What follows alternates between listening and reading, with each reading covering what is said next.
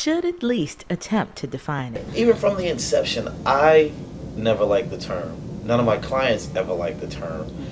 And, and I can't, can honestly say I know a bunch of people who have. I mean, it's a, it's a music industry figment. It's something that, that people within the industry came up with, just like when they start differentiating between hip hop and rap. You know what I mean? Like I still don't know the difference. Yeah. You I know, hear you. I don't know. I think it's developing here because, and it, it started way before five years ago. I think that people here really started something a long time ago, and it just started coming to fruition. I think people started to recognize. People started getting tired of, of the music that we have to look. We're this canned and forced on us today. I mean, why wouldn't you want to listen to a Jill Scott over an Ashanti? I mean, it, it only makes sense.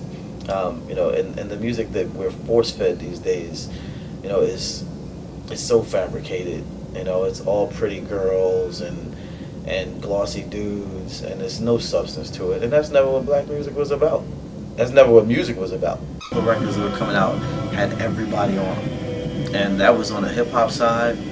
I mean, whether you had like the Roots, they had Eve and Jill on, you know, on Things Fall Apart. Things Fall Apart? On Mhm. Things Fall Apart. You know, and uh, Beanie Sigel was on that record too.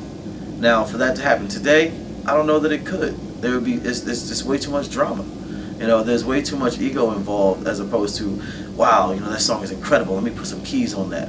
Wow, that you know, that that melody is crazy. Can I write something to that? That doesn't happen anymore. They don't. We don't have these places where, you know, where where you have these big melting pots of music anymore. There's no jam sessions anymore where you know, hey, you know what?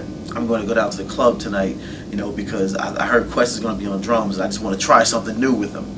You know, it's like, well, if you're not part of this clique, you're not getting on stage. And if you don't know these cats, you can't even talk to them, and you might not get in. You know, and, and it, it became such a political fiasco. And I'm trying to speak without calling anybody out, so please forgive my elusiveness. You know, but it's but it's crazy, you know, when you don't have that kind of energy anymore. You know, whereas that's where the great music always came from, from collaborations. You know, from people working together, and your strength and my strength makes us both strong, as opposed to divisiveness that's going on these days. I mean, and and it's I hate to sound really negative about it, but to me it bothers me because I've you know, I've been in music a long time and I've loved music for a long time and I see how the music is not growing where it should be growing.